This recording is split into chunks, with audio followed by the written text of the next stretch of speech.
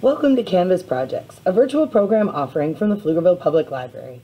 I'm Meg Miller, an Adult Services Librarian, here with another fun project geared to ages 12 and up for you to complete. Those who registered through the library calendar can pick up their material supply kits, and for everyone else watching, we hope you give these techniques a try. This month's project is a neon canvas. Let's start with a look at the supplies being provided. In our um, envelope here, we have four things for you this month. Um, we have got our two paint pot colors. Um, one is a neon blue, and this month I've just got a basic top-notch neon blue. And the other darker color is a denim, not really a navy, but it is a matte paint. Um, we've also provided a um, acrylic paint white paint pen um, that you'll definitely want to shake up and prep. You'll want to have a scrap paper with you or really just your envelope will be fine. Medium round brush here and then our 6 by 6 black canvas and these should be wrapped in plastic. Uh, any other supplies you might need if you're um, if you'd like, if you want to do kind of prep with your design, you can uh, have a pencil. That will help you. That should, those pencil lines should go away under any of the paint that you put on. Uh, so you're just going to remove the plastic from your canvas. Um, because this is a little bit more of line, I'm not really protecting my workspace. Uh, you may want to put something down so that you make sure uh, you don't get any paint on your surface but that's totally up to you. Um, and you'll see in our example, what I was going for was lightning. Um, somebody actually mentioned too, it just looks like kind of a cool cracking um, of like the material or the stone. So that's really fun. Um, and that I kind of like as a design choice. I might do that for this one today. Um, but really any shape that you'd like to draw, um, a cloud with this blue neon look could re be really cool. Um, other projects, if you were using other colors, I've seen um, fruit, so you use like a red, do an apple, a red and a green, and the neon effect. Um, and really this neon effect is the layers of color coming from the bright white on the inside into the neon color and out to that darker matte color that kind of blends into the black background and really gives you that neon look. Um, so I am going to go ahead and start with the pencil. And I think for this one, I am going to do a quick cloud design. So I'm just going to do a straight line across there. I'm going to come up and around. Give my little cloud some detail here. Oh, and mechanical pencils break. All right.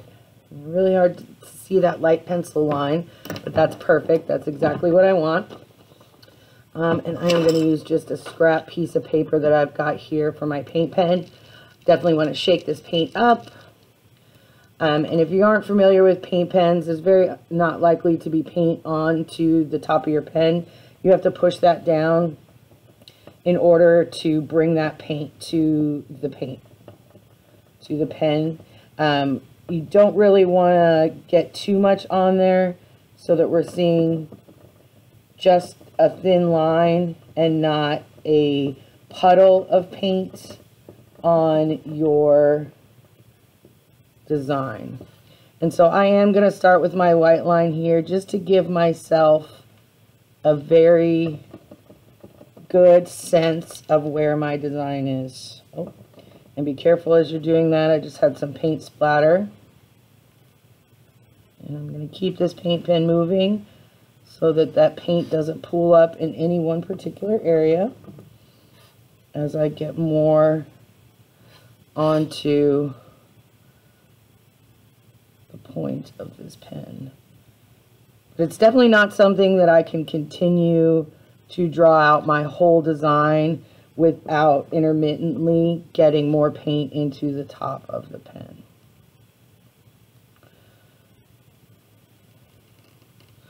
All right, just a little bit more. This end here. All right. Get my pen ready for the next step. Set that right aside. Got my two paint pots here. Um, and I do want to start with my brightest color on the inside. So I'll just open this neon paint here. With the medium brush, I, I chose that so that we could get a pretty significant line, um, but you don't want like to fully flatten your brush so you get that fan. Um, I really do want my brush to be pretty narrow there with just a little bit of paint.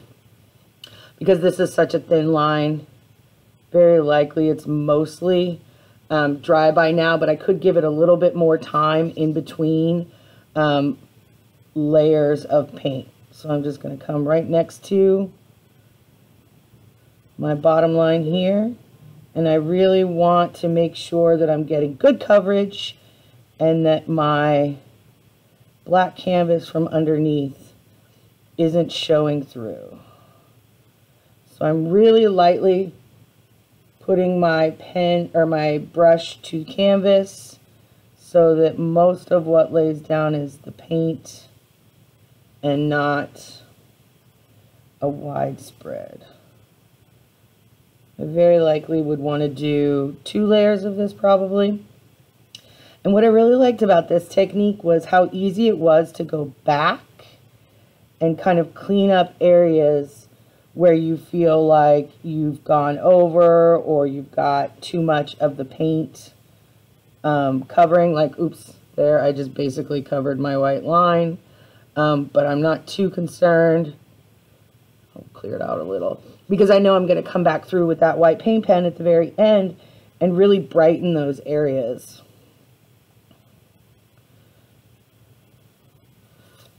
Come back across. And then I'm also going to want to do the same line on the interior. So on both sides of that white line, I want my neon paint to be there. So since this is fairly easy to be painting across this design, I'm going to come in and do that now. Want that bright neon blue to be right in there. And this side, I've got a line that's a little bit wider than perhaps I really need once I get to my darker color. But again, I'm going to be able to color that, cover that up with the darker paint, and it will really kind of blend in nicely. Just doing some neon paint here. I know, I'm sure if you've watched any other painting videos, there are some folks who have the ability to really just know the perfect pressure to put down their brush and kind of make those long straight lines with good paint coverage. And this is not that video. And if you are one of those folks, I would love to see sometime. As we always say, we do love to see folks completed projects shared to library social media or your own social media and tagged to the library. As much as I am trying to make sure I get good coverage where I'm not seeing the black of the canvas underneath, I also am trying to not do too thick of a layer of paint um, because that's going to take it a little bit longer to dry. I'm just going to give it a little wave here to see if I can get some of this layer to dry so that as I continue we can get to in the video showing you how some of that laying down the other colors will work. Some of the our videos here don't complete the process um, because we know once we've kind of got you underway, you really have the ability to do and explore your creativity um, with your designs and do something that really speaks to you. So I'm going to go ahead and interest of time, I clean my brush off a little bit here, open my denim, and again, I can come back across um, with other colors as I need to, to brighten areas where um, I lose a little bit. And so even on this one, where it's had time to completely dry, And I can see there's some pieces like here I wouldn't mind brightening up that neon line a little bit. And so have patience with your projects. Jump back to them after a few days. Um, this is not just necessarily something that you need to complete in one sitting. Um, give yourself some some self-care time, you know, a few different times. Do one layer, really let it have time to dry. Hopefully visit your library for more materials if this is a um, process or a technique or something that you're interested in trying um, other projects with and kind of getting a sense for those real techniques. So there I've kind of come through with more of the neon color in some places where I lost it. So here we had gotten a little bit of the um, dark areas, the same with right here where it didn't come kind of all the way around the edge.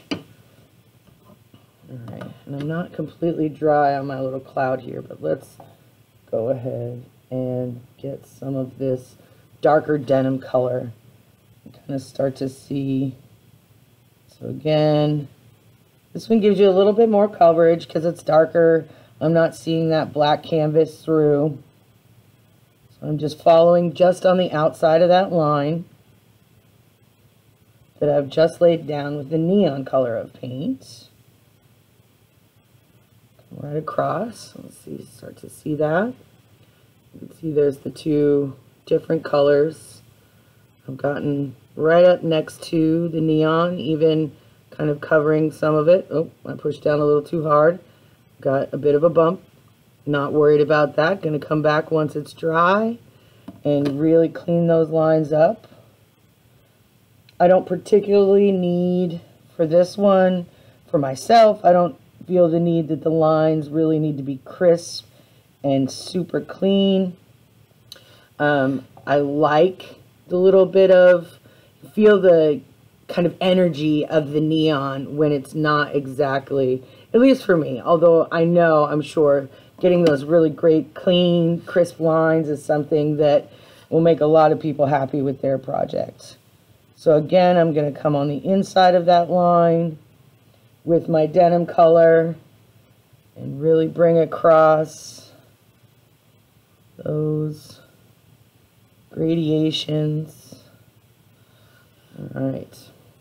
And as my neon dries, I will come back through and give that um, definitely some extra layers because I can see right around there. I can see black canvas through, same over here.